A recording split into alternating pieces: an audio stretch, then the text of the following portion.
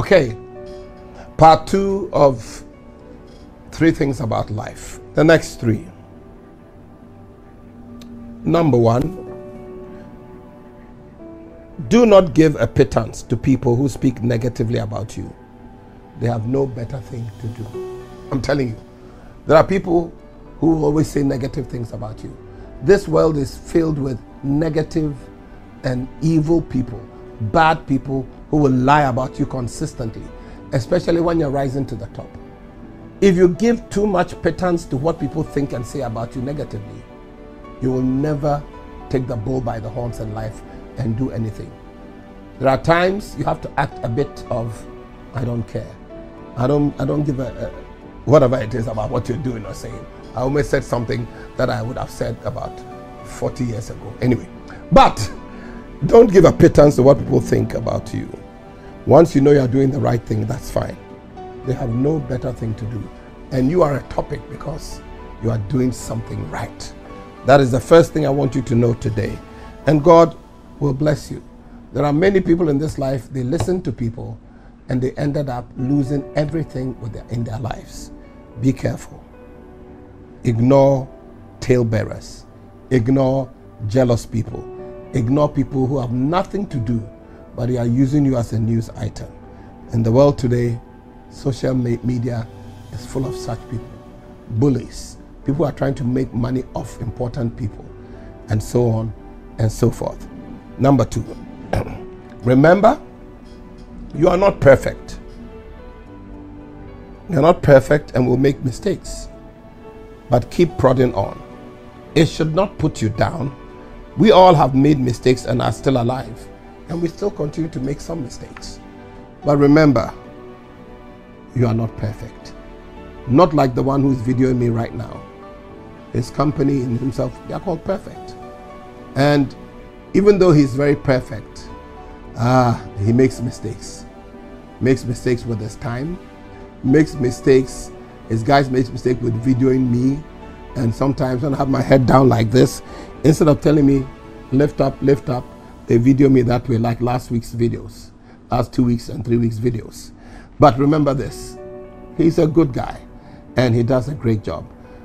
Don't think you are perfect because you are not. People strive too much for perfection, don't enjoy life. They struggle and they just die without achieving anything because God did not create us to be perfect. He created us to make mistakes. And when we make mistakes, we know we are not God. And then we look back at our mistakes and correct it for the future. We are not perfect people. We make mistakes.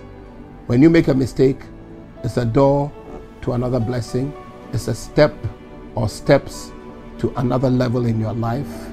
It's a learning process. Always remember that. Number two, never postpone today's duties for tomorrow. Free yourself for the decisions of tomorrow that you will take.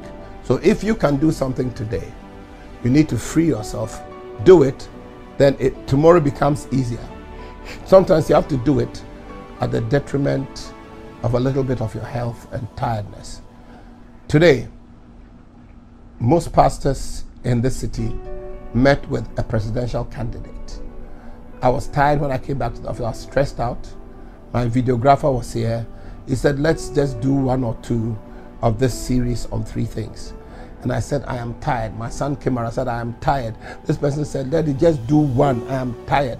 And I know myself, once I sit there and I say I'm going to do it, I end up doing three or four. But here is the thing I am freeing myself by doing these videos now so that I can do other things tomorrow or Wednesday when we have other video shoots to do. So sometimes, if you can do something now, don't procrastinate, don't postpone it. You might miss great opportunities and you will save time if you do it now. And remember, once you do it now, you'll feel content and satisfied at the end of the day. What I can do today, I will do. Say that to yourself. What I can do today, I will do today. What is for tomorrow, tomorrow will come. By the grace of God, we will fulfill and achieve. Whatever duties I have to do today, must be done, must be done, must be done today. No procrastination, which is the thief of time. And the final one if you can get someone to do a duty for you, especially if you have the resources, in the same way you would do it or even better, allow them to make a living.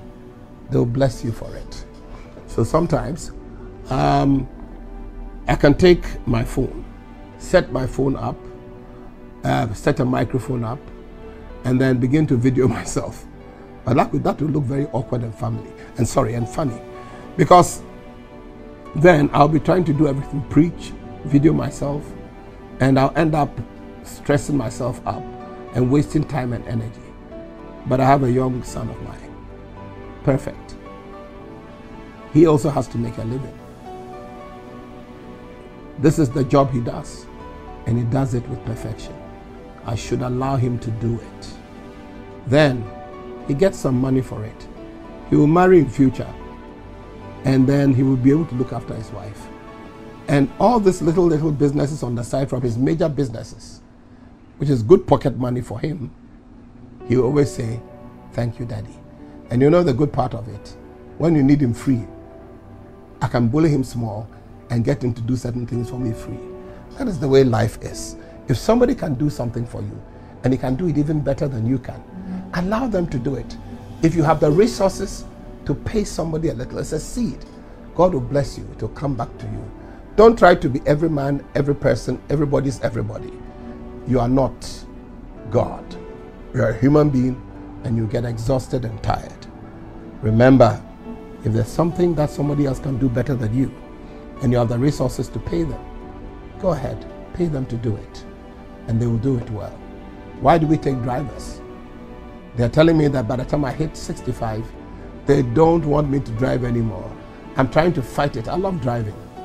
I love traveling long distances driving a car, but I'm growing. I have to stop that.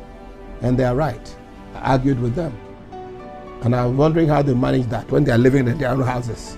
You know, I think I'm to seize the keys or what. But I have to listen. Somebody has to do something. A driver has to get a salary. I have to get a cook. My wife, I've told her I'm fed up with her cooking. Not because she can't cook, She's stressing herself out. She has to do other things. All the children are grown up. The grandchildren come around periodically. She should get somebody to handle those things. I have a security. I have a, uh, by the grace of God, a house uh, help. Now, all these people are doing these things, and it frees us to do other things. But at the same time, it gives somebody a salary what somebody can do for you and do better, or just like you would do it. Don't do it. Allow the person to do it, especially if you have the resources to pay that person. God bless you. See you another time.